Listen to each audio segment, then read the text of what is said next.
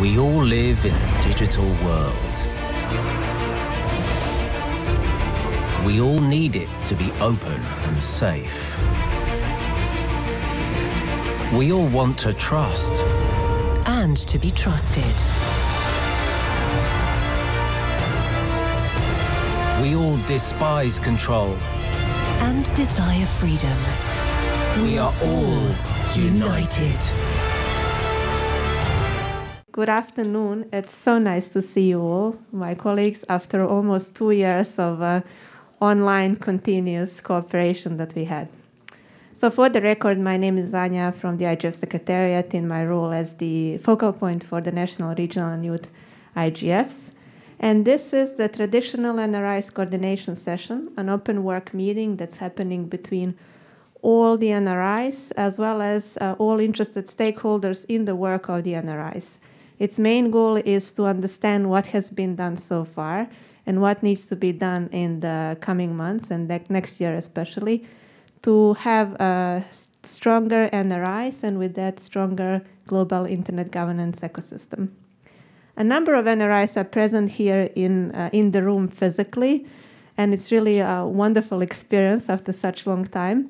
But I know that a bigger number of the NRI colleagues is present online. So special greetings goes from all of us to our colleagues that are present online. You are certainly missed that you're not here, but I hope that uh, next year we will have a really uh, large in-person mostly meeting for all the NRIs.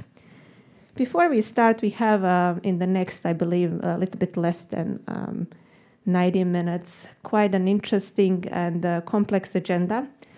We are, I think, very fortunate uh, at this meeting to have with us join Ms. Uh, Maria Francesca Spatolisano from the officer in charge of the Office of the Envoy of Technology.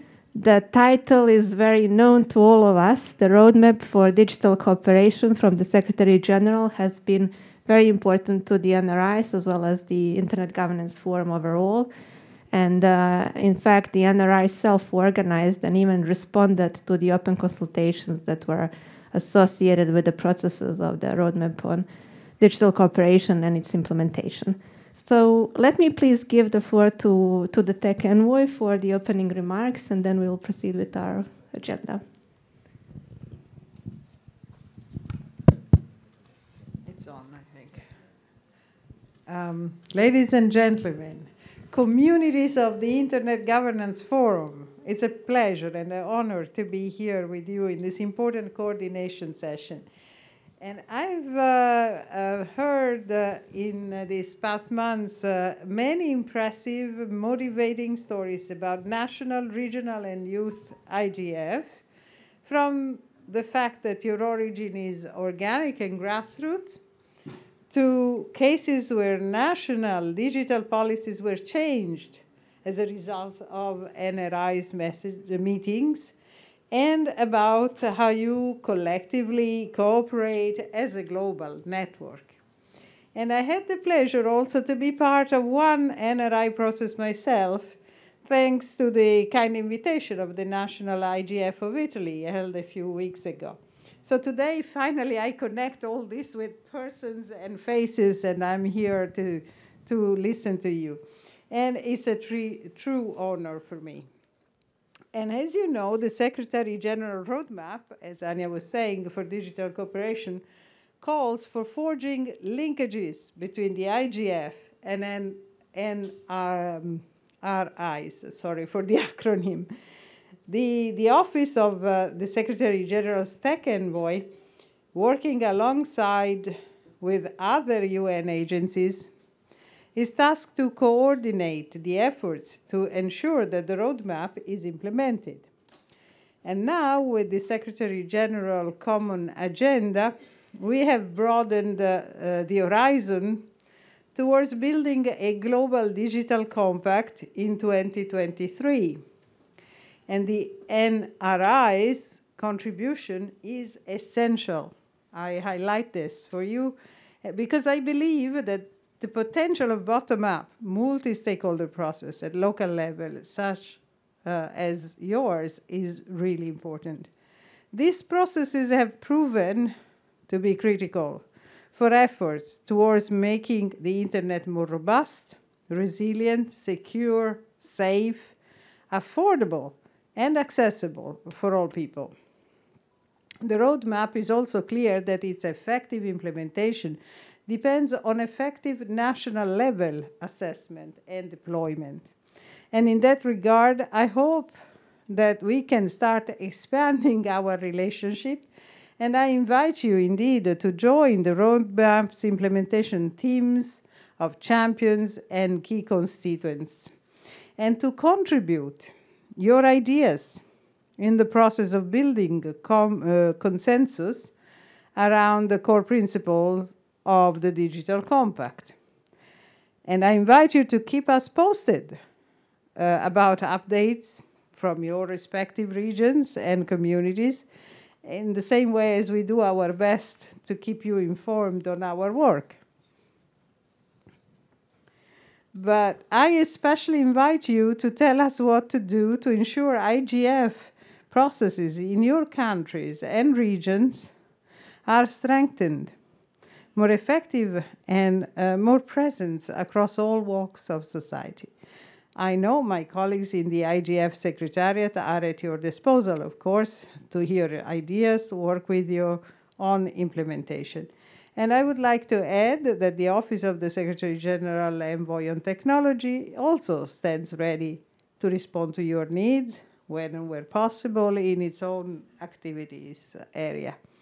And I encourage you finally to focus on what concrete steps could be taken to have a more effective IGF ecosystem composed um, of uh, uh, many elements, and among these, a strong, sustainable, locally and globally recognized and supported NRIs. And I look forward to your very engaging dialogue about to happen. Thank you. Well, thank you very much, ASG Spatolisano. Firstly, for finding time to be here. But first of all, thank you for the continued support to the NRIs, which I think goes beyond just being present at certain sessions. Your um, members of your team, uh, I see that colleagues Jason and Yu Ping are here. They've been real, uh, very kind in uh, cooperating closely with uh, with the NRIs uh, in regard to their processes, and they showed presence at their processes, which we very much appreciated. And that's how the good cooperation always starts. You have to know each other firstly to understand what you're doing, and then from there, uh, good action always starts. Thank you very much. I know you have a very busy schedule at uh, this year's IGF. We really appreciate your time that you're here. You're most welcome to stay as long as your schedule allows, of course. Uh, and, at any time when you need to leave, please be free, be free to, to leave. We're a very practical group and with full understanding. And we will, uh, if you agree, move to the agenda that we all agreed. So the agenda for this session is agreed in a bottom-up manner by the NRIs over a number of virtual meetings since the beginning of this year. Uh, it was decided that this year's session will focus on discussing two major areas. The first one relates to overall sustainability of the NRIs. There are a couple of aspects we are going to discuss. The first one relates to financial sustainability. And I do think it's very important just because the processes that we're running, they're obviously very valuable, but they also come with, with a cost. And we need to understand from where the funding can come, especially in regards to the international ecosystem and how can we all work together to uh, streamline that process. And then the second part of this session will relate to the work of the NRIs becoming more policy impactful, not necessarily at the local level, but I think also at the global level. And what the ASG Spatolsanos mentioned about the roadmap, that's one of the processes I think where the NRIs can play a very important role noting that in some countries and regions still uh, an NRI process that exists is really the only opportunity to understand in a multi-stakeholder environment what the digital policy is about in terms of the priority for a local community. So with that, the format of this session obviously will be very open as we agreed, so it's uh, up to you to raise your hand and speak. Uh, I have a microphone that I can pass on uh, to all of you when you start speaking. And there is also this standing microphone here. And the ASG is kind to also uh, give us her microphone. So I think we'll manage to have a, a quick, quick uh, action on this. Sustainability of the NRIs, that's our first area, and then I invite you to all to comment on that. The idea is to hopefully come up with some sort of an action plan for the next year that all the NRIs can work on, cooperate, and hopefully implement. How do you feel in terms of uh, your financial resources for your processes? I especially refer to the context of the pandemic and turning completely to online or, compl- uh, or turning to hybrid meeting which from the experience of the IGF can be can come with even higher costs than when you when you speak about what was before a traditional on-site meeting. And I especially would like to uh, you to put the emphasis on how the international community can maybe better support the NRIs, or are you already happy with uh, what is already there uh, in the in the presence? Let, let me just mention that there are a couple of outlets that are giving uh, grants to the NRIs, and there's a procedure that's established. So, in that sense, the IGF Support Association, for example, does give grants to the developing uh, countries related processes for national and regional IGFs uh, with a certain amount of grant. I'm glad that Jennifer is also there, so she's also uh, carrying ahead of IGFSA and APR IGF coordinator. Uh, ISOC, ISOC Foundation as well. I think ICANN has been a very strong supporter of the NRIs.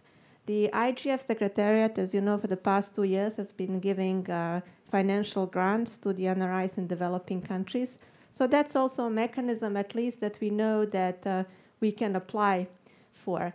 But obviously, it's not everything. And I think uh, developed countries related NRIs are also facing challenges because many of these resources that are known that exist in the international ecosystem are actually uh, in their eligibility criteria related to developing countries. And that's a little bit of a challenge uh, from the experience of, uh, I'll just speak from, the, from my experience as the NRI's focal point, especially for the regional IGFs, for example, where you have, um, so EuroDIG is a very specific example, where you have um, covering Europe, where you have a number of developed countries, but then again, there are a number of developing countries. And so, how do you differentiate there whether that regional IGF would be eligible or not for funding? Has been uh, a subject for a discussion with some processes. So, with putting this on the table, uh, I invite you for all of us to, to brainstorm a bit and to understand how can we um, streamline a little bit better the uh, funding that's coming from the inter- international ecosystem. And then uh, we can move on to discussing about mobilizing the local community to support better the NRIs.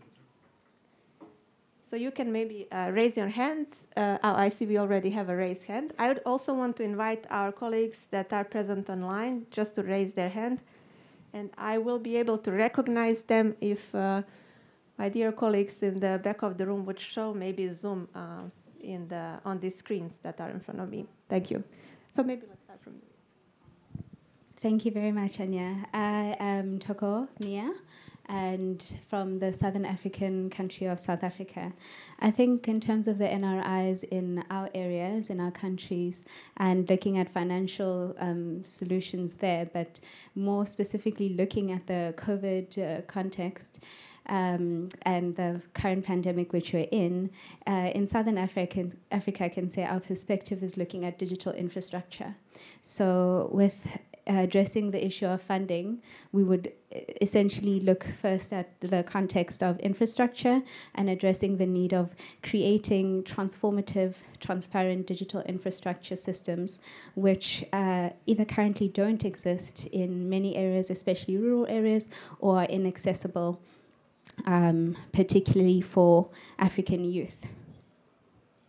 Um, and so it, we do, I do believe, um, and uh, in terms of NRI structures, that uh, when it comes to um, accessibility, uh, that would be the key focal area for there to be financial distribution to ensure that there is an equal, accessible, compliant, and transparent internet for all to provide strong support to be able to create equal opportunity for bridging uh, technological skills gaps, which are significant in the Southern African countries, And due to the COVID uh, crisis, uh, the education and availability to education, where schools were the primary, often um, first point of contact with any technological um, device or education, uh, the pandemic and quarantine times broke that system, um, breaking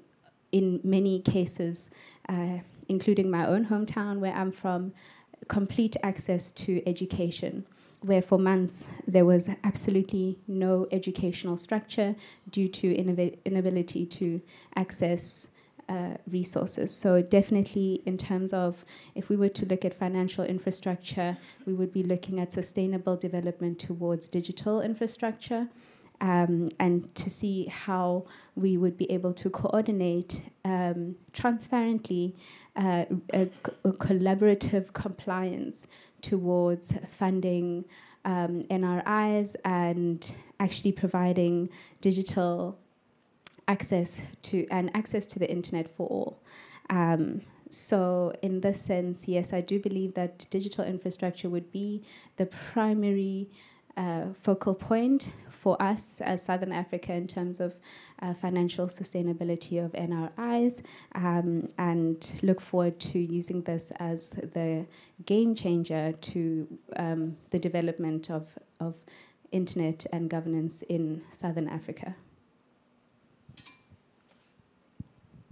Thank you very much for sharing these points. Uh, maybe I'll invite you to comment also on these points and share your points as well. So yes, Michael, I'll give you my microphone. Maybe.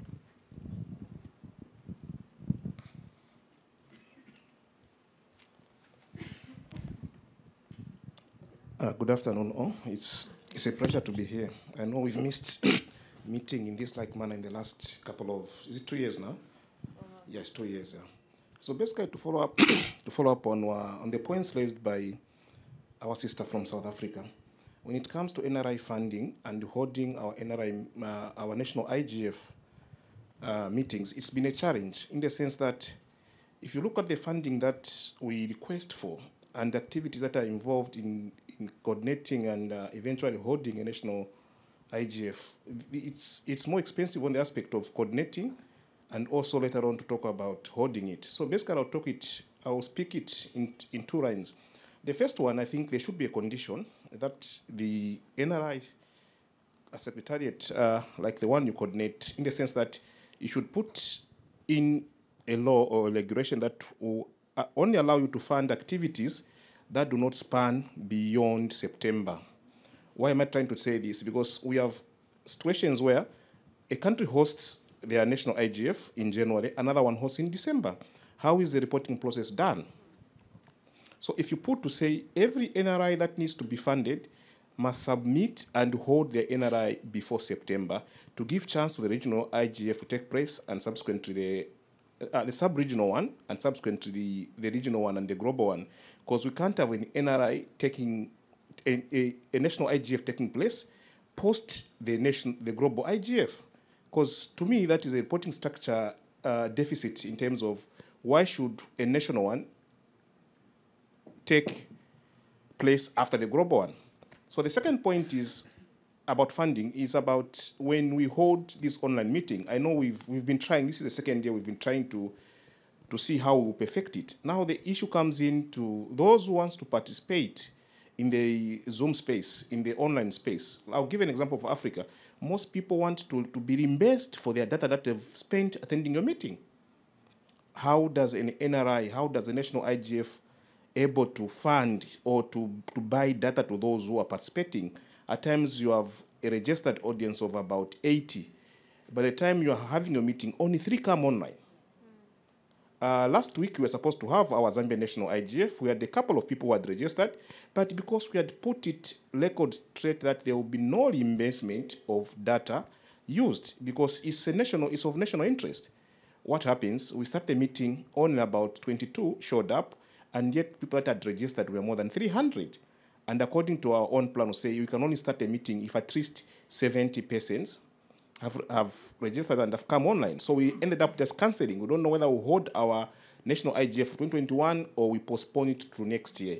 So basically, just to come back to the point, as much as we seek for funding, let the donors also look into the aspect of also funding the participants. As long as the meeting is taking place online, there are other participants who, who would want to be part of the meeting, but unfortunately they can't because they can't afford to, to use probably 500 MB or 1 GB for a one hour meeting, two hours meeting. Thank you.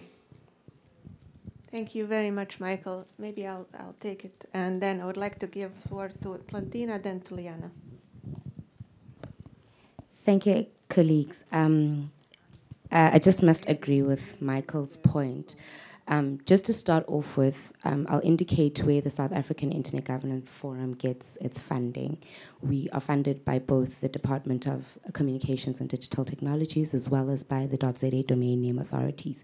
Those are the funders, but we do source uh, funding externally, and I must um, just applaud um, the IGF Secretariat because they have done their part to assist us financially in, in, in our funding. But I also just must come back to the point that was made by my colleague Michael. Um, there is an important, there's, there's value in putting up timelines as far as when um, we can have our IGF um, for funding purposes. So if we're going to have our IGF around the same timelines as the global IGF, it does not make sense because as far as my engagements with particularly you, Anya, is that um, I need to submit a report. So when do I submit an IGF report if I'm having an IGF meeting around the same timelines as the as as, as the global IGF? So I must just. Um, but I think I'm, I'm glad that you made mention of ISOC, ICANN, and the global i. because I didn't know that those are funders. Uh, what where we relied on were just um, what was what we relied on for funding was just the department, the department itself, as well as organizational structures to fund. But now there is an awareness, which brings me to my second point. I think there needs to be greater awareness. Maybe it's just with me, but there needs to be greater awareness of where we can get our funding. It wasn't up, until communication that I realized that, that this is where I can get funding for our national initiatives. And I think if I didn't know about it, there are a lot more colleagues that also didn't know about it. So they end up not having IGF meetings because of funding purposes. But I think maybe just increase awareness of what the channels are that we can get funding and which organizations and what the budget, what the limitations are for funding. Thank you. Thank you. Thank you very much, Plantina. Uh, there's already a very concrete action point. Liana, before and before I give the floor to you, since I'm closer here, so I'll give them.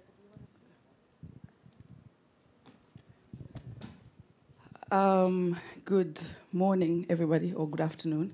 My name is Neema Lugangira. I'm a member of parliament from Tanzania. And one thing that I wanted to stress upon, I think it's important for whenever you know, national IGFs are being organized to also remember to in extend invitations to members of parliament um, because at the end of the day, oftentimes we as parliamentarians are not um, are not included in discussions. And that's where decisions are made. And thereafter, it is us parliamentarians who are then expected to be part and parcel of the process of making sure whatever that was agreed upon in our absence should actually be implemented. So I think it's very important for national IGFs to make sure that, you know, and to make extra efforts to ensure that parliamentarians are at those events, are involved and capacitated to understand, you know, the different dynamics. Uh, because at the end of the day, you know, all of the things that are being discussed end up needing legislators to take um, to take some sort of positioning, etc. So I wanted to highlight the importance of parliamentarians, and personally, I'm very much grateful for the Tanzania IGF for ensuring that um, I myself am able to be here today, because prior that was not there. So I'd like to highly commend um, my our leader here from IGF, Nazar, for, for having and ensured and facilitated that. Um, the other part which I wanted to echo is my is a colleague here who mentioned that um, because of COVID, it's so used of people coming on Zoom, but we tend to forget most of us in developing countries do not have budgets for being online. You know, it, it, it is almost assumed that ah, it's just a Zoom meeting, so so so there is no budget for it.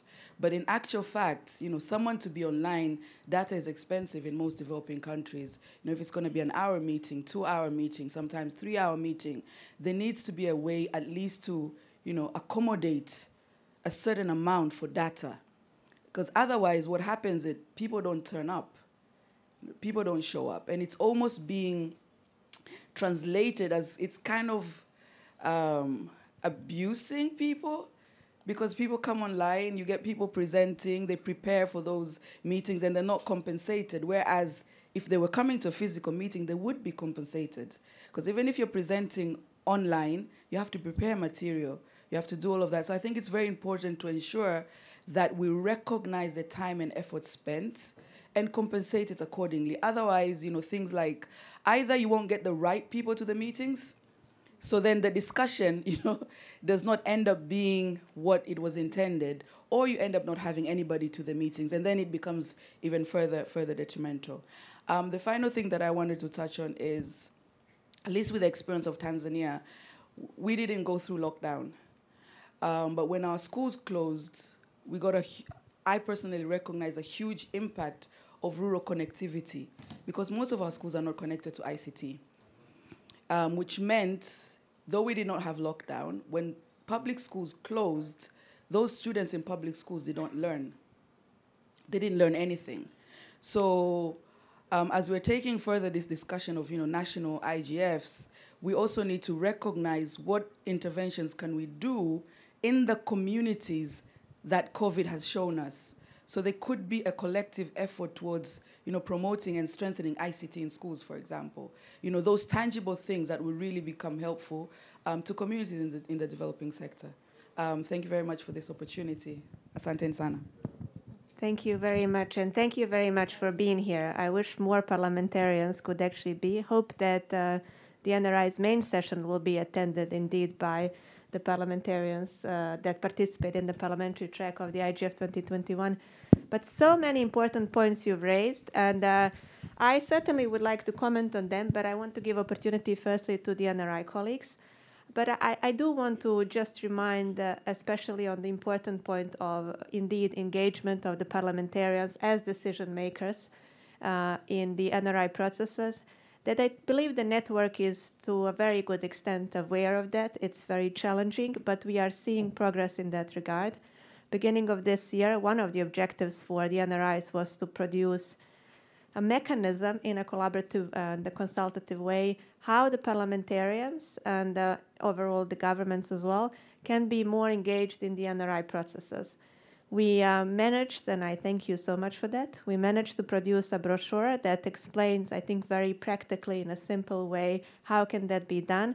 It's translated to 10 different languages, thanks to you and your voluntary uh, com commitment in that regard. And it's already showing results. I don't know if our colleague Osvaldo is here, I don't see him, but he will be the one who is going to speak about the concrete results. And a number of parliamentarians from the Dominican Republic are actually here thanks to what Osvaldo told me after reading that, that brochure and understanding a little bit better the, the engagement mechanisms.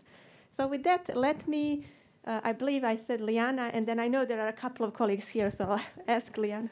Oh, you have to distribute the microphone. Thank you. Thank you, Anya. It's really a pleasure being here. Uh, Liana Galstyan, Armenia IGF. Um, I also would like to uh, reflect on the discussions and the points that have been raised by our Tanzanian uh, colleague uh, on the involvement of uh, parliamentarians. And I want to stress that we also uh, invite members in Armenia. And I'm very happy that we, um, the member of parliament, are being involved in the discussion discussions and uh, they are present at the uh, national IGFs. Uh, truly, their participation and that legislative power that they have is very important to the issues that have been raised at the IGF and globally.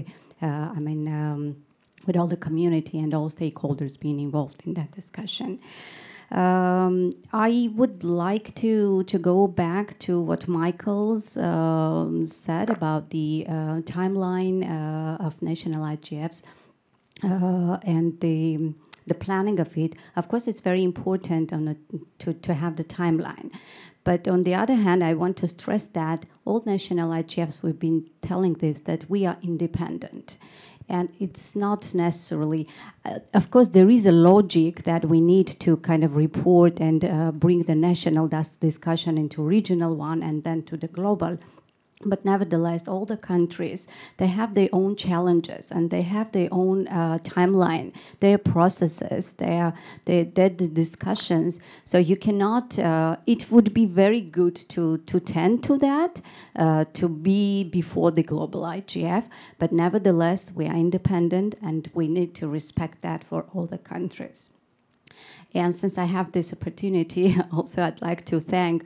uh, our um, international sponsors. Truly, they uh, they keep. Um, supporting uh, the efforts of developing countries and uh, make possible of these discussions that is to say it is the internet society that icann and igfsa and the local uh, registry operators the, the rears that we do so we're in europe uh, so thanks to ripe this is uh, their support means a lot, and um, based on that support, the financial support that we receive from them, we also can make the outreach among the uh, local um, sponsors. Um, and bring some interest because we mentioned sometimes that we have this interest from the global sponsors, but uh, this is so important that we have the sustainability from the local space. So that these are the mainly uh, the, the, points that I wanted to raise. Thank you very much. Thank you very much, Lianna. Yes, and then. Can, can I? I had also put my hand up. So yeah, I, yes, I yes. Said, no, please, go? please okay. go ahead. Thank you. Um, so Bram, for the record, from Malawi. Um, so I wanted to comment on, I think what Michael said, and I think uh, Toko and, and, and a few guys. So the issue of uh, sponsorship, for example. I feel like there's a disconnect from from the IGF Global Secretariat and then the regional secretariat bodies as well. Because if you speak to the AU, of the Africa Union, for example, um, and, and other NRIs in, in the building, they'll tell you that they got funding from PRIDA, um, you know, a perfect example. But you find that South Africa is not aware that they can access uh, this kind of funding within the, the Africa um, region itself. Um, so I feel like maybe we need to synchronize our information and obviously share in terms of the opportunities that are happening within the region, uh, sub-region, um, in terms of the funding itself. Um, now, on the issue of the regional IGF, um, I, I, also feel there's a, there's a disconnect. Um, I'll give a perfect example of the SADC IGF, which is the Southern Africa uh, IGF. We have been following up um, some of us individually to, to say, can we have the uh, SADC uh, regional IGF? Now, because it's housed within the Secretariat of the SADC, we, we can only go you know, this far into follow up. I mean, maybe if it were coming from the global IGF Secretariat to push within those uh, regional offices and follow up and say, what's, what's the status uh, for this year's um, regional IGF? If you go back to the to the same uh, Africa Union uh, under the PRIDA program, I think um, uh, a few colleagues I see they're here. Um, when they were doing train, uh, train, train, train, training the, the, the, trainers, they have outlined clearly. I think Mary is part of uh, the program to say this is where you hold your national IGF at the African level. This is the regional, maybe the SADC or West Africa and then we have our own, uh, you know, Africa IGF, and then we go to the global. So those are already, you know, standardized. But I think pushing this information now to the NRIs so that they are aware, and, and obviously also the global IGF is aware, so that when you're saying we want to give you funding, you say no. At the AU level, it's been defined that you can only have your uh, national IGF on this date. So therefore, you've, you've surpassed um, will not be able to fund you. I think to cope with the reporting uh, criteria that was being mentioned. So I just wanted to comment on those. Thank you. Thank you very much, Bram. I think there were a couple of colleagues around you that wanted to speak. Okay, and I see.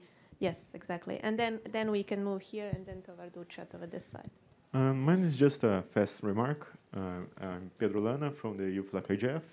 And about funding and the need to uh, spread the news about the possibilities of funding, this is a real good point because this was the first time that I believe it, we are at the seventh, sixth or seventh edition? Six. The sixth edition of the Youth LAC IGF. It was the first time that we got funding specifically for the Youth LAC IGF, not part of another funding. Uh, we got it from the Internet Society Well, It was not that much, but since the uh, youth NRIs have a different dynamic than uh, the other NRIs, the Global Forum, it was enough because the most important part on that is making those youth that are entering the system, that are being part of this capacity building efforts. We have an open course since last year uh, to get these initial steps inside the internet governance ecosystem. And having some small things to compensate them for their efforts is something that is really valuable so people can stay on the space. Like on the last open course uh, that we have the Youth LAC IGF ambassadors, many of them became uh, active parts of the internet governance ecosystem today. Some of, of, them are here on site in Poland. Some of them organizing sessions. Some of them are part of, uh, in their countries, from research institutions uh, or even the government. And it's based on these uh, small helps with funding that people can access, uh, this uh, youth NRIs can access. They just have to know about it because it was the first time actually that Internet Society gave uh, this funding to uh, youth NR NRI. Uh, at first, they didn't even know that they could provide us to them, but after it was informed to them, and uh, the IGF Secretariat, I believe Anja helped us with that a lot, they provided us, provided that to us uh, swiftly, and it made a whole lot of difference uh, compared to what we had last year. So it's important to make these opportunities reach people who are organizing the youth NRIs around the world or the national or the regional ones. Thank you very much. Yeah, I think was it you, Auke, and then yes, we and then Jennifer. So let's finish this area, and then we're gonna move here and coming back there. Thank you very much. Uh, my name is Auke Auke Pals from the Netherlands, and um, I feel actually very sorry that there are still many funding issues. In the Netherlands, we do have a consortium uh, based from the Ministry of Economic Affairs and SIDN, the .nl registry, making this available. Um, but what I personally struggled with is the last two years is the engagement and uh, because we couldn't see each other, events were cancelled. Um, okay, I'm doing like this for the moment. Um, and what we struggled or what I struggled with is the tiredness actually on sitting on the screen and mi missing the ability to network also. Uh, because on the one hand, you do have the knowledge sharing in a session, but part of that, and maybe even more important, is the networking after that on how to proceed after that. And the second part, yeah, we or actually I felt that that is the difficult part on engaging new people uh, because the contacts that you have, you keep in contact with and you know them. Um, but keeping uh, new people coming involved um, and organizing events online in the second year of COVID was even, yeah really challenging. So we were happy to have a face-to-face -face event. Luckily, uh, before the Dutch government decided on another lockdown again.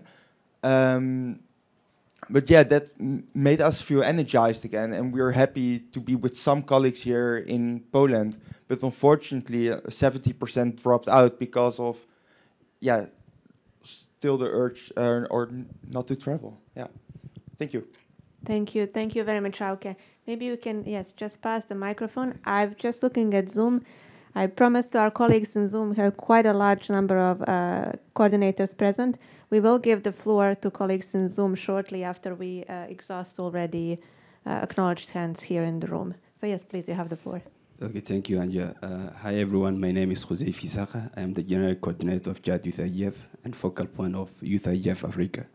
So I'm raising an important point, which is concerning youth and NRIs, especially when it comes to organize annual like meetings how we can like promote youth engagement, youth, I mean, uh, activities, and how can we like support youth? Like this, I mean, uh, last we, uh, I mean, uh, notice that uh, national uh, IGFs and youth are not like connected. So there is like a problem, I mean, between the two structures. So how can we put the two of them together to work and help youth in terms of capacity building and everything else? Thank you. Thank you very much, Isaka. I think it's also a good question to raise today at 4 o'clock at the Global Youth IGF Summit.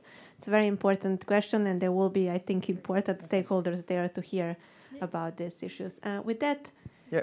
wisdom, correct? And then I think Jennifer, then we'll come back to Emmanuel, and then, yes, we're going to come back here and go to our online participants. Yes, uh, thank you very much. My name is Wisdom, uh, Ghana Youth IG, uh, Ghana IGF coordinator. Uh, a lot have been said. Uh, I'm not going to repeat that, but I'm just going to say what uh, Ghana is doing. Um, yes, we have the Ghana IGF, and then very coordinated. But what we realize is that for the past two years, we are getting a, a, a, lot of issues within Ghana, or I should say Africa. Uh, if you realize the youth unemployment rate has doubled, and then uh, the youth are getting worried, and then one thing that we can uh, think of is uh, what we can use the internet to bridge that youth unemployment gap, and then uh, doing that we have to think more of uh, technology, think more of internet, and how we can tackle some of the issues within some some of the sectors that we have that can create job for this this youth. So what we are doing in Ghana, uh, for example, is to um, look at the entire region and then uh, get youth coordinators for all the entire regions of Ghana. We have about 16 regions. So every region is going to have one youth coordinator, and this coordinator is going to be linked to a university in that uh, in that region, working with the youth, and then uh, this youth uh, IGF is kind of linked to the main Ghana IGF, uh, which has almost all the stakeholders, including the telecom operators, uh, private organization and all that, and then working with the youth to see how we can bridge that gap and also to see how we can take some of this information to the grassroots at the regional level through the youth themselves, discussing and then trying to identify their issues for us to help them uh, solve it. So this is another uh, another thing that we can look at to see how we can bridge that gap. Yes, so this is what I have for now. Thank you very much, Wisdom. I believe uh, also our ASG will need to leave. I know you have a scheduled appointment very soon. Once again, thank you very much for being here and for your words. I'll see you around this week. Thank you. Thank you. And uh, we will continue. So, Jennifer, please. Yes, you've been waiting a long time. Thank you, Anja. Um, Jennifer Chung from APrIGF. Um, also, I will speak later on with another hat on uh, as IGFSA, but I do see Marcus um, in our Zoom room, and I see a lot of colleagues also in the Zoom room. So, I want to make sure the hybrid format of, of our meeting is is definitely you know uh, still there.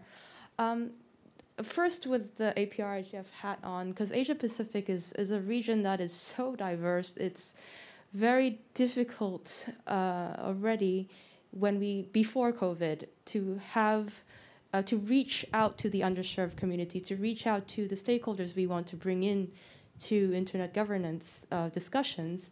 Then when we went into COVID, you know, now now almost two years ago, it became very challenging because access is already a very, very, very big uh, problem or, or uh, uh, um, topic in, in our region, and I'm sure in other regions too. But I think many colleagues have brought up connectivity because now that it's Zoom, many, I suppose, in, in the more fortunate and more resourceful countries would assume this is quite easy. You stay at home or you be in a place you connect and that's it. But they forget that it's very difficult, and specifically the underserved communities that do not already have connection find it even more difficult to be able to engage, and that's the first thing.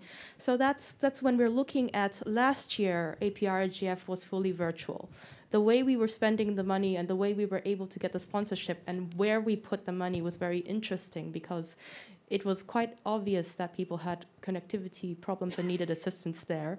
And the second thing is is a transcription. When you're not in a room with somebody or when you're not seeing their mouths move, it's very difficult also to understand what they're saying. And we've tried two different ways. Last year when we were fully virtual, we did use you know a human transcription service which was very you know very good because they were quite used to the internet governance terminology and I guess the people's names, and they were okay with that. This year we tried a new experiment and tried to use an AI service transcription, and that was very difficult in two ways that we didn't uh, anticipate. First, it was very difficult for them, the AI, to understand people speaking English as a second language. If that is not your first language, we are not speaking, you know, any kind of standardized accent in English. It's very difficult for the AI to pick up what you're actually saying. And then there's another part where we are trying very much to make sure persons with disability are also able to join. So we made it a very big point to also include sign language transcription, and I understand that also is extremely, you know, it's it's expenses that we have to put in and, and think about. Um, and I want to pick up on a point I think a few colleagues over here, especially from the youth initiatives, have pointed out. How do we engage new people in a time like this. And we are already quite Zoom fatigued. We're already right, uh, a resource is, is very thin. How do we engage the stakeholders we really want to bring into the discussion? Because if we're having the same conversation with the same people in the same room all the time, we will not be able to get the ideas we need, we'll not be able to bring in um, people we want to bring into the conversation. And it's extremely challenging to tell someone, here is something you should participate and engage in. But this is the only way you can do it right now. And it's not, it, it, it's very difficult to, to convince, especially young people, when they already have all their, their classes online, competing um, programs online. Why should we also do this online thing for internet governance, which we're not quite, we don't really know what it is. We use the internet, but we don't know what is this policy making, what is the governance part of it. So we also had to redesign our capacity building at APrIGF. So this year for the fellows, we included a stipend for the connectivity. We included um, a more, I guess, robust uh, uh program with the mentors where they had one-on-one small group uh, um, engagement uh, chats. It was kind of more like a, a weekly chat they had even like a month, a month and a half before the entire meeting, so they can actually understand this is what's going to happen these are the people who are already engaged in this community and would like you know to guide you through like a mentor to make sure they feel included to make sure they feel that okay this is a community i want to stay in. To to engage new people and to keep new people it's extremely challenging especially when we are in virtual and, and hybrid meetings. So that's one hat on. And then i know a lot of colleagues were asking about the funding issue so now i'm going to put the other hat on for IGFSA. Um, and I see Marcus is also on, online as well. So uh, if anything I miss, uh, please do add in the chat or, or, or put it in the, um, you know, put your hand up. Uh, we, we try very much to, to, to work with the NRIs in uh, developing countries, uh, the developing world NRIs, because we know it's very difficult. We know that especially you don't really know if you're going to have the meeting, if you have the meeting, how this funding can be spent. I know the grants that we do provide is just you know a part of what uh, is is eventually used in the meetings. There is like um, I guess consideration about transcription. There's consideration about equipment costs, especially if you are a, uh, an NRI that's just starting up. This, for example, if this year is your first meeting, I think the Comoros IGF was working quite closely with, with you know, Anja, you at the IGF Secretariat, but they were asking us, you know, what about the criteria, the eligibility? Do we meet, you know, all these requirements so we can get funding? So we, we try very hard to do that, and I think there's query from, I guess, the youth IGF from Myanmar. They're trying to, you know, set up their first meeting, and they were wondering, do we qualify uh, for this, you know, criteria of, of funding? And then lastly, I know a few colleagues from the African region has mentioned, you know, there's different sources of funding that come in everywhere, and I think it's very important to to make this known to the NRI network. I can only speak, uh, I guess, on behalf of, uh, well, not on behalf of, I can only speak from the Asia Pacific standpoint. Um, ICANN definitely does do a lot of work in, in our region. ISOC definitely does a lot of work in our region. But the RIRs also do a lot of work in our region. So the for for Asia Pacific, it would be APNIC, and I'm sure you know for the rest of the regions like AFRINIC, LACNIC, RIPE NCC, um, ARIN, I'm sure they also do have their capacity building funding that they would would look into. I mean, I don't know the specifics for that, but it is worth looking into it. And then lastly, because I have one last hat for Dot Asia, um, we are a quote unquote, I guess, a regional um, generic top level domain. We also provide funding for for the CCTLDs in, in our in our region. So in the Asia Pacific region, the one thing we did this year was to help the KR IGF, the Korean um, IGF, and we provided uh, support there, uh, both in terms of funding as well as in-kind support. So I really encourage co colleagues, you know, NRI colleagues to share this information with Anja so we can all benefit from knowing where we can get funding. Thanks. Thank you very much, Jennifer. I know we have one intervention here, but I promised before to Emmanuel. While Emmanuel is getting ready, please allow me to give floor to Nigel Casimir, who is with us from the Caribbean region online. Unfortunately, uh, Nigel was supposed to be here in person, but he had to cancel his trip. Nigel, you have the floor. After that, we'll hear from Julian, because I see that you've been holding your hands raised in Zoom for some time, and then we're going to come back to Emmanuel, and then we're coming to the side. Yes, I remember. Nigel, please. Thank you very much, Anja. I hope you all can hear me well. We can hear you well, yes. We can hear you. Excellent. Yes, um, I, I'm Nigel Casimir from the Caribbean IGF. Um, of course, this would be a regional IGF, and we I, I am associated with the Caribbean Telecommunications Union, which is a intergovernmental organization with 20 member countries in the Caribbean. And we serve as coordinator and, and kind of corporate home for the, um, the, the, Caribbean IGF. And we've done so since 2005. Now, we usually have our meeting in August. And in terms of funding and sponsorship and sustainability and so on, over the years, we have had sponsorship from the internet organizations like ICANN, the regional red registries, the Internet Society and so on, but also some of the larger um, internet orgs like your Google and Facebook and so on, and of course the IGFSA. Uh, we've had, like everyone else, you know, uh, physical meetings annually since, um, since be, of course, before COVID, but since 2020, for the last two years, we, we've been online only. And one of the things we did even before COVID because of course we're dealing with islands um, and not everyone might be able to, to, to, to, travel to a physical meeting. We, we had incorporated regional participation even in the on-site meetings um, from, from before COVID. So going fully remote wasn't um, too much of a shock for us. Um, I think in terms of sustainability of the, the effort as well, it's useful to have a corporate home or secretariat for the um, for the IGF. In our case, in the Caribbean, the CTU has taken the organization with it has taken that role. And um, uh, one thing we noticed though is that the, there, are, there are different challenges for funding and sustainability for the regional uh, efforts and the national efforts.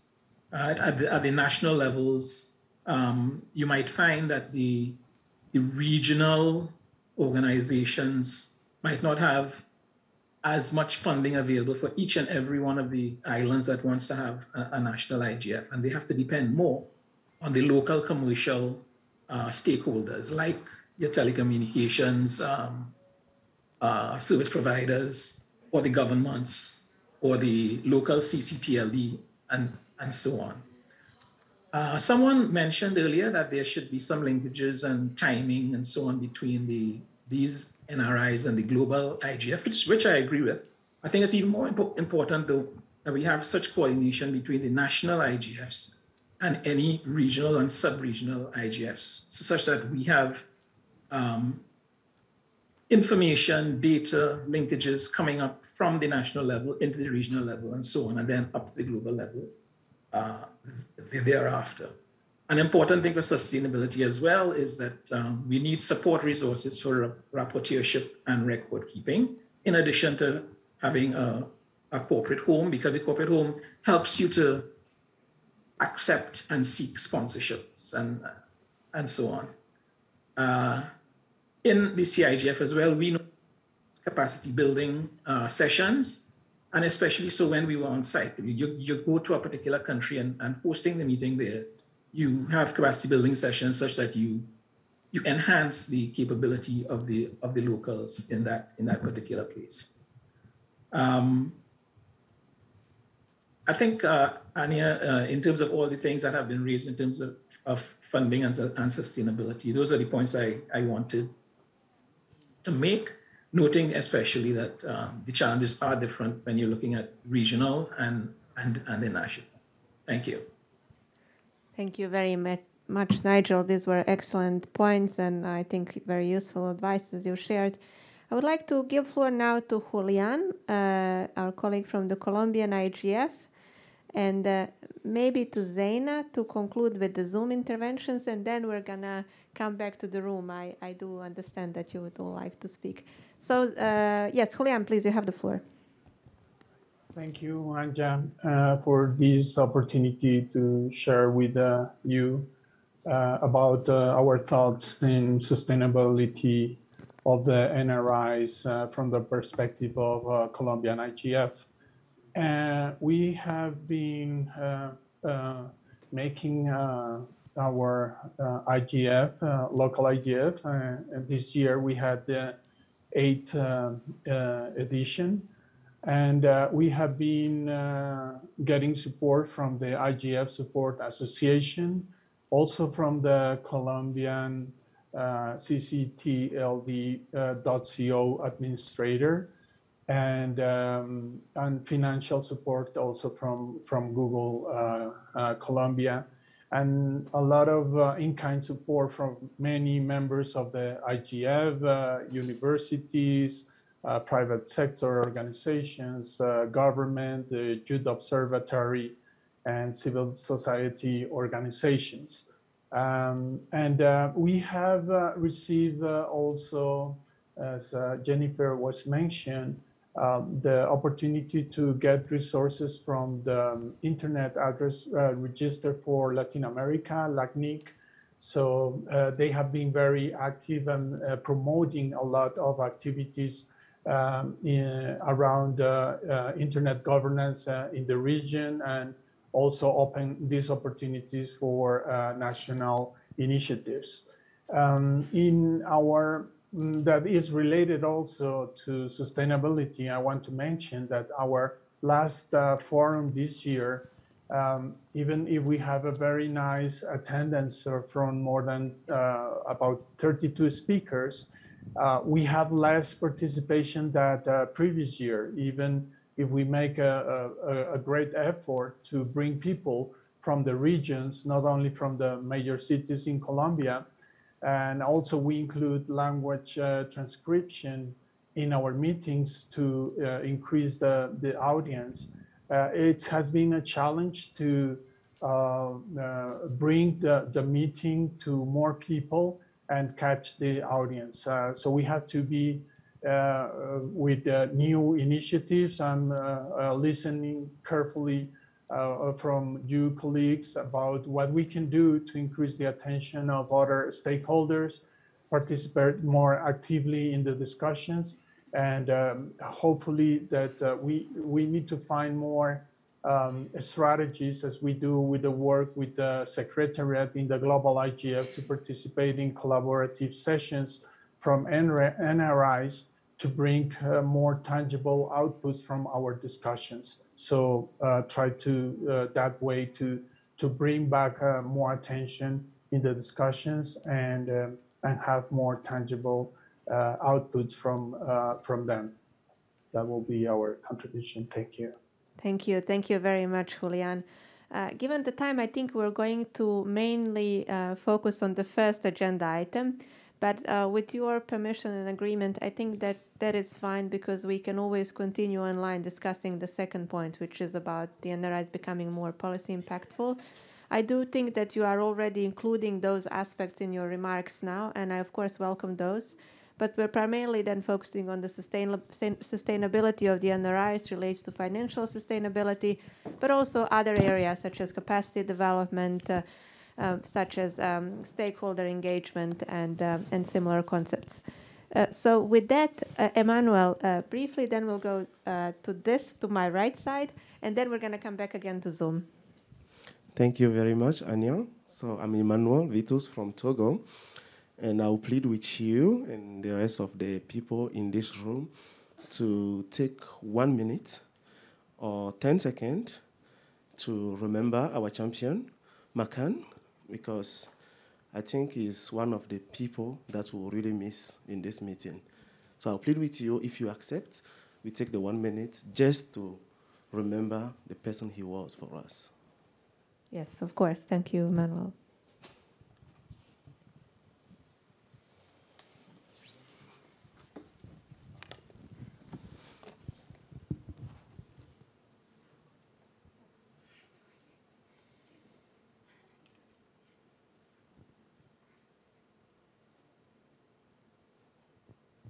Thank you. Thank you very much. So I'm going to talk about the independence, I mean, um, or the sustainability of the national IGFs, and I will take our, our case in Togo. So let me say there will not be independence. I mean, of a lot of people have already mentioned independence of the IGF. There will not be independence if we don't have the financial, you know, sustainability. Uh, in some countries, they say some stakeholders have taken the IGF, they have hijacked the IGF, is because they have the money. So I think it's something that we should uh, really start thinking of. And from our country, for example, we don't organize the IGF if we don't have a minimum guarantee of funding. So when we're talking about gender, let's say we're talking about organizing the IGF in January or organizing the IGF in June, there's not always um, that assurance of organizing IGF until at least one founder say, okay, this year we're going to support you. It's like this year we have to wait for the ANDESA to send an email and said, gentlemen, you, had our, you have our support before we choose a date for the IGF. So I think those are some of the things that, at least at the beginning of the year, we should actually have assurance, especially from the traditional founders like the IGFSA, the ANDESA, and the other groups that usually support our initiative. So it helps us or giving us that guarantee that yes, this year we'll hold our IGF. And the second point is also uh, what happened to the schools. Because looking at the regional level and the national level, the schools are the most expensive. The internet governance schools are the most expensive, especially for the regions where people have to fly from one country to the other, stay in the hotel maybe for three days, for one week. So they are the most expensive, but I've noticed that in the process of the secretariat, we don't have uh, anywhere where we place the school financially. So it's something that we should really look at because even the traditional founders like Andesa or even the ISOC Foundation, for example, they only support regional schools. So when it comes to the national schools, they don't. ICANN, uh, the same thing. ICANN will give you a technical support, as they call it, which is humans, I mean, human resources. But there's no money, but we do need money for those schools because it's the only place where we are able to build the capacity of the people. Uh, we just observed one minute for Makan, but to be honest, when Makan uh, passed, it was a challenge because we're thinking about what to be the future of our initiative because he was a pillar and we all rely on him. But at the same time, we don't have the resources to train other people to actually fit the shoe. So it's very important that those schools were able to give a certain like amount of money or a certain sustainability in terms of financial sustainability and independence for those schools so that we can train those champions so that they can take over. Because Uh, today, in Africa, we talk about the youth. it's difficult to mention the age because at the same time, the youth are the people sometimes working on the national IGF as well. So, where did they fit in the IGF process? Because if we send an application to IGFSA, it's for the NRIs. But the youth IGFs are specific events where they discuss specific issues. So their budget, actually, we absorb their budget. We absorb the budget of the schools. And we absorb the national IGFs. And it's sometimes very difficult, very difficult even for getting volunteers because nobody will volunteer, I mean, be a volunteer in a process where there's no money. You can't do anything, even if you have that, uh, how do you call it? Uh, you have that uh, passion for it. Thank you. you have that passion for it. It's difficult uh, to, to, to do it without a financial. So I'll plead with the Secretariat to look at where we place those initiatives, especially the youth IGF at the national level and the schools. So if we are applying for funding, we should know that if a country is organized those three events, even if it's the same period, we should know that those events require budget so that they support it as well. Because in some countries like Togo, for example, the local stakeholders, we don't have the adherence yet. Like they are not really fully involved financially to support the process. So we rely only on the small budget that come from the traditional funders. Thank you. Thank you. Thank you very much, Emmanuel. Before we, um, if you're going to be brief, if not, I, I did promise that uh, this is the queue, but very brief. Be brief, yes.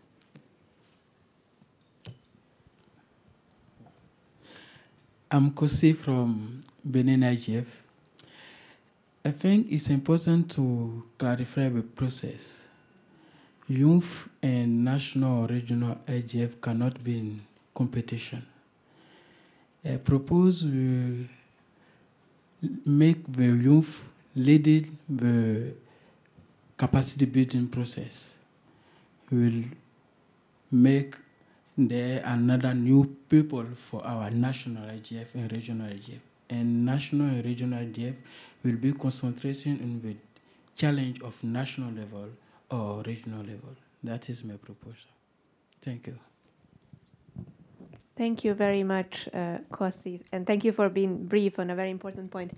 Yes, let's go like this toward uh, Ucha and Nazar, and then we're gonna go back to our on uh, Zoom participants. I think we have 15 minutes until the end, so need to wrap All up. right, I'll try to keep it brief because we're so passionate. Uh, we've all been going long. My name is Advocate Zanyiwe Tatisia Sore. Oh, okay. Can I just? Okay. And I'm the chairperson of the South African Internet Governance Forum, but I think, like many others, I wear many hats in the ecosystem. So I also work as an independent advisor to the Communications um, Authority of South Africa, where we look at consumer specific issues in tele, uh, telecommunications and broadcasting. And I also run a company that works in the SADC region and issues around digital access, and we work with a few governments. I think, Michael, I've actually seen you in some Zambian meetings. Um, so I think just to be solution oriented, the first thing I believe we need to do is create minimum standards of compliance when it comes to how we disseminate information. So number one, ensuring that websites are present, and we take this for granted, but we actually have um, uh, NRIs and even glo- um, national IGFs that just don't have websites whatsoever and any presence. So then already we've got an issue of um, dissemination of information, but outside of that, what do we stand for? Who, who are we? We should be using these same platforms that we're promoting to spread the knowledge. So that's the first one. The second one is actually creating a compliance pack. So, what does that look like? When it comes to funders, some IGFs don't have, or some forums don't even have, let's say, letterheads or even just a standard communication of letters to these funders that we're saying we don't have. Um, so, so it becomes, you know, you're not going to just have a phone call to a telco and ask them to give you something. There's a certain level of um, etiquette and a certain level of communication that should be, um, you know, things should be communicated in a particular manner. And then I think another one, you know, I've been hearing issues around you know, we want face to face. In Africa, honestly, even just going online is a privilege. Um, we're already facing issues of, you know, electricity, electricity um, shortages, and I'm going to use that word quite intentionally. And that's just not in the rural areas. That's like everywhere in the entire country, and very few people have generators and inverters. So the costs that are being um, spoken about are quite genuine. And I think sometimes, you know, when so we do a lot of work in rural communities, and when we get asked this, they say, well, people are online on Facebook, whatever. The, the telcos actually have specific bundles just for um, social media. So you won't be able to connect to Zoom. There's just no money for that. Um, so for me, it's really saying, can we have minimum standards? Because what happens is, I mean, and I'll speak for ourselves, for example, you get elected in March, you come in, but now you still need to look at issues of what's the constitution, what's our corporate identity. So now, for the first six months, instead of planning an actual IGF, you're now doing all the corporate identity issues, which is something we actually need to look at. And the last one, I think um, um, um the lady from South Pacific Asia, you mentioned something around um, accessibility and ensuring that when we do have these meetings, we are looking at the disabled community. I think that's excellent. But we also need to do that looking at the ITU standards for websites. Can you go onto website one? Are we looking at ensuring that um, people who are blind and deaf can use it in navigation wise? All of the, there are standards that are there. It's not reinventing the wheel. So that's the first one. Second one, language is a massive barrier. Um, in Zambia, how many languages are in Zambia, Michael? 72 languages. South Africa, we've got 11 official languages. So we really need to look at the nuances of, and I'll speak from an African perspective because I can't speak from anywhere else. Um, these things are there. You put them, you, we make sure that those are the minimum standards that we have. Um, I'll keep it brief. I could go for days, but thank you so much for the opportunity. thank you very much. That was very quick. She's our chairperson. um, Thank you for that, Advocate Zanyiwe. Um, I also just want to speak to my colleague uh, from Malawi. I'm so glad that you mentioned the issue of regional initiatives, and I think we should just um, take up the, the opportunity just to speak because we don't, we can't have a regional initiative um, without a, a, a, functioning secretariat. But also to speak to the issue of the independence of uh, national initiatives um, and pulling in what Michael spoke about, about the timelines that we need to have our IGFs in order to respect the independence of the national initiatives, is it then possible for us to have a reporting mechanism, also drawing from what Advocate Zanyiwe just currently spoke about, to say what is the bare minimum compliance standard. So if you can't, for instance, have your uh, national IGF on before September, in order to still qualify for funding, what is going to be the reporting structure that will enable you to still apply for funding even though there is a deadline for when you have because as uh, my colleague has just mentioned there are a few challenges that we are still grappling with as uh, uh, national initiatives and regional initiatives. But to make sure that we comply with the global standard what reporting mechanism, and this is maybe just a question that I'm throwing uh, uh, to you specifically, Anja, what reporting mechanisms can we have in place um, to ensure that we still qualify for IGF even though we have it after the uh, uh, uh the actual deadline, and uh, we can still comply with the reporting structures that are in place. Thank you. Thank you very much, Pantina. I take note of the question. I can uh, address it later, but I would like to finally hear from Ucha. He's been holding his hand for some time. Thanks, Anja. It's uh, Ucha Seturi from Georgian IGF. Uh, just I uh, have to uh, highlight two points. Uh, from our point of view, I think we are producing some kind of service. That's why uh, branding stuff is very important. Even web page and all this stuff is quite important because you're inviting new generation, you're inviting people who are related with the internet, so they have very special requirements. Uh, about the uh, parliament and, and policymakers' involvement, we can share our last two years' experience uh, that we finally signed memorandum of understanding with, uh, with our parliament members, especially from the Committee of uh, Policy Making and uh, the sectoral economics. And uh, this uh, gave us the different level of relations with our policymakers because even every legislation, every law, draft law, have to be uh, discussed in this committee. Right now, we have partners in our as a stakeholder, so uh, they have to discuss, they have to give the floor, and they have to use IGF dialogue as a platform for every new draft law. So maybe it could be interesting for uh, our uh, colleagues from no, um, uh, Zanzibar. Sorry, I'm Tanzania. Sorry, sorry, sorry, sorry, my friend. And uh, finally, about the funding. Um, about the funding, uh, yes, every uh, IGF has problems, issues, maybe challenges of the funding. So we're trying to invite uh, private sector and uh, give some opportunities. Uh, not big telcos, maybe not big. it's also up to us. We try to find people who, not companies who have good so understanding of social importance of the internet governance. And this also gives funding for networking, for uh, have some fun because we are using uh, iStars funding for uh, translation, for venue, but uh, for networking is very important part of the uh, IGF meetings. We are using uh, private sector funding. Very brief, thanks. Thank you very much, Ucha. I think Nazar requested the floor first, and then we'll go to Mary. I, I or Roberto. Yes, or then, okay, we'll finish with this line, but then I would like to go back to Zoom after we finish this first round.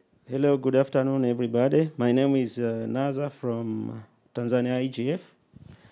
And uh, I'm glad to be here with uh, all of you. Um, I would like uh, to make my contribution in terms of uh, what we have been doing in Tanzania. Uh, number one, point number one is on the sustainability of the NRIs. Um, I would like to look at uh, this uh, from two uh, or three perspectives. One is uh, we really have to be uh, to look at it from strategic and uh, creative way of doing this stuff. Um, I'm saying this because uh, there is uh, one one guy who was uh, um, joking me and saying, uh, "But uh, you're asking for funding, but uh, I think you are just a debating society. I mean, I mean, what tangibly are you doing?" And I said, "We are doing things." Um, so we, we really have to, to, to apply strategic and creative thinking in uh, when we are doing uh, our our our activities. For example, uh, in Tanzania, what we have done so that we can bring some things on the table, we have started something called Women and uh, Youth Innovation Hubs.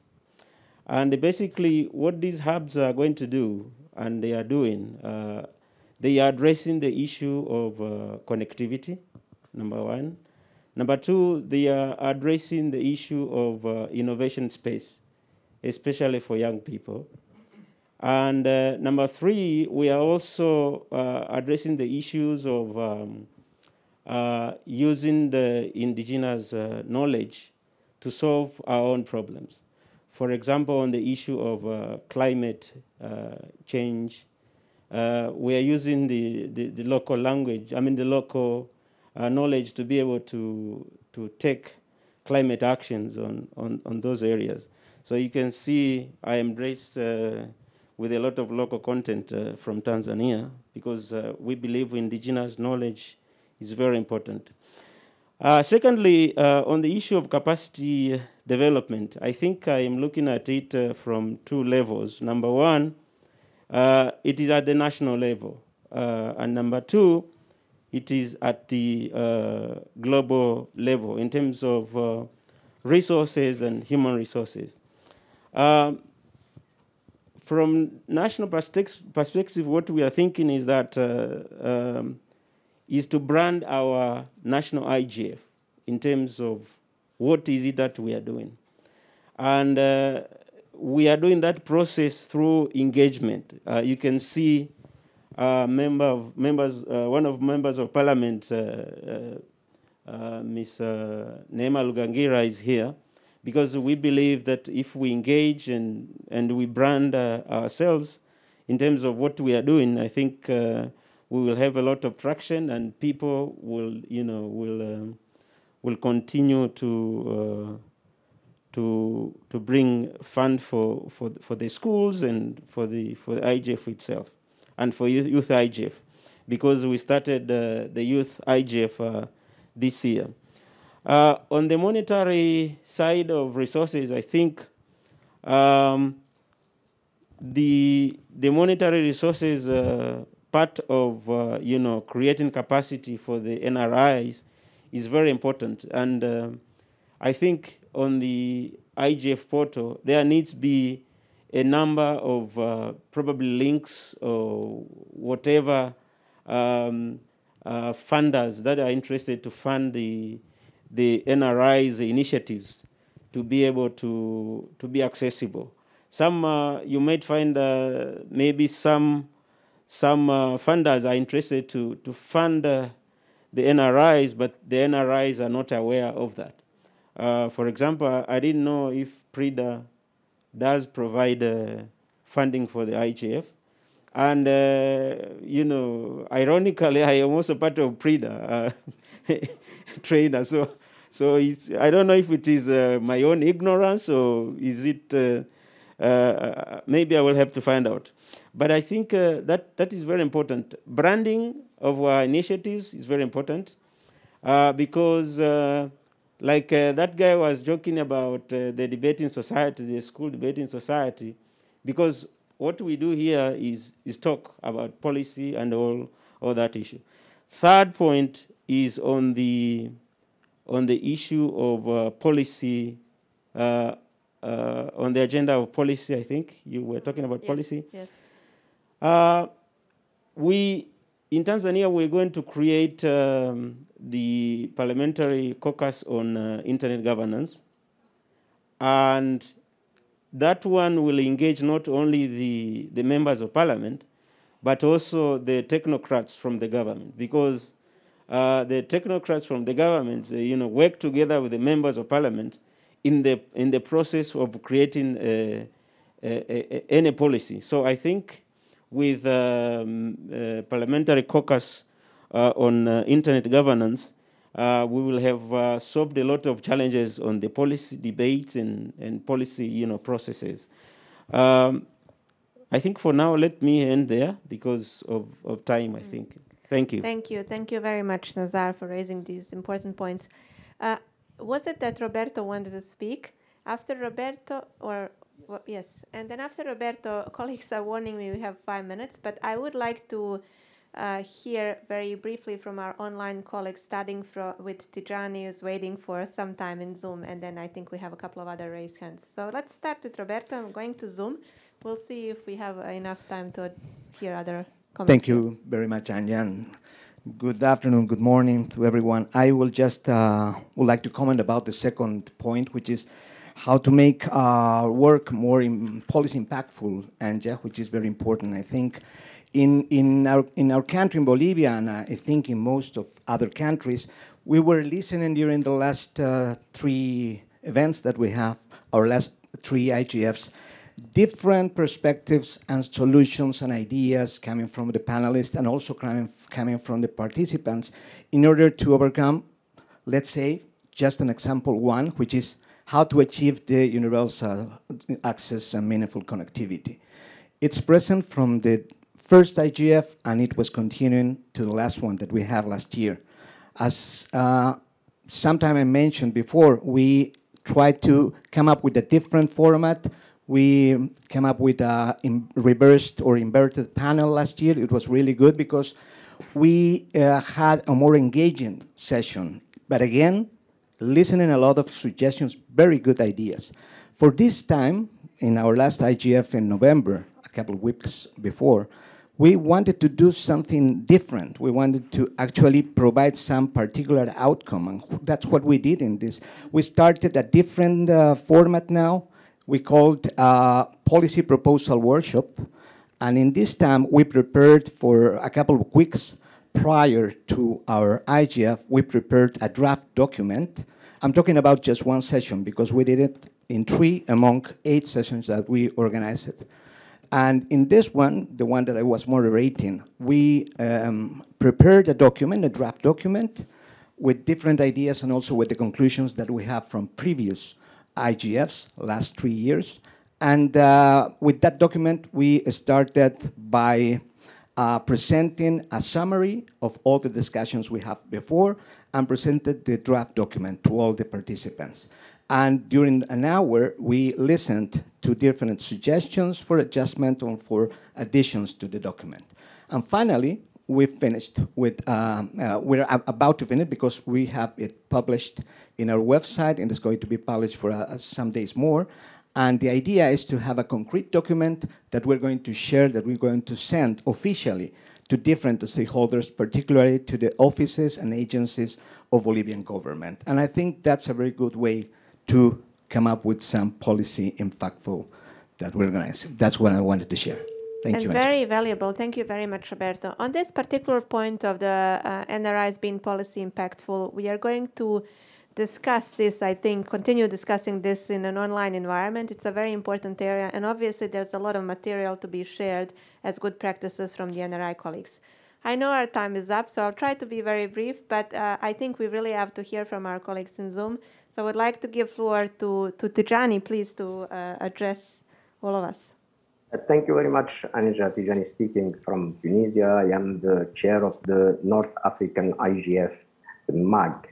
So um, uh, I'd like to note that for sustainability, the Secretariat is one of the elements of sustainability of these uh, initiatives.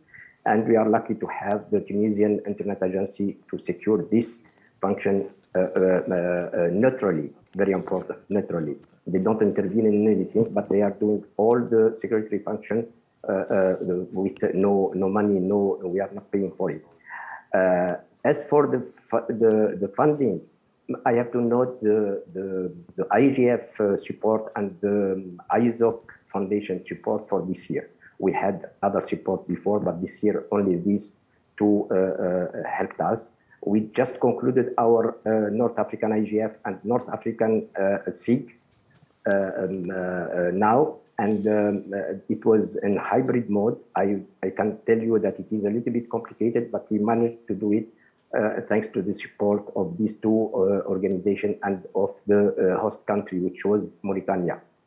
an important thing that nobody spoke about, which is the, the harmonization of the calendar for the NRIs. I think that the, the IGF Secretariat should create a, a dashboard uh, on which uh, uh, it puts all the all the events related to internet governance of the year, and uh, they update it uh, continuously. And on this dashboard, each uh, NRI put their project, their uh, their dates that, that they want to to help to hold their uh, their uh, meetings. So I think this is an important thing because we don't have to have conflict. improve communication, yes, of course, yes, we have to improve communication. So there is a, big problem of communication, I think, between us and also between us and the, the, the global IGF. Uh, what else? Uh, uh, okay, I will stop here. I know that we are short of time. Thank you. Thank you. Thank you very much, uh, Tijani, and thank you for being very patient colleagues told me that there is a really red alarm that in three minutes we have to conclude. That was probably said before a minute. So uh, if you agree, because our colleague Andrea Beccalli has been waiting in Zoom for some time, and I know a number of colleagues in this room are waiting, I think uh, let's at least conclude with Zoom, maybe to give uh, the final words to Andrea. Uh, Jenna posted very valuable comments in the chat, and I encourage everyone to connect to Zoom and see the comments, and I will certainly communicate that to the mailing list as well. But Andrea, if you could be please brief to address us all. Hello, everyone. I'll, I'll try to be as brief as I can. It's great to see you on video. Unfortunately, I'm not there, but I really congratulate and commend all those of you that uh, made the effort to travel to face all the burdens. And I heard also the very harsh weather um, to be there in person. I think it's a very important um, message that you send with your presence to the uh, IGF community, and really, you know, appreciate that for, for, for doing that. I wanted just to share very few um, remarks about the Italian IGF, which uh, I think could be helpful for the NRI community.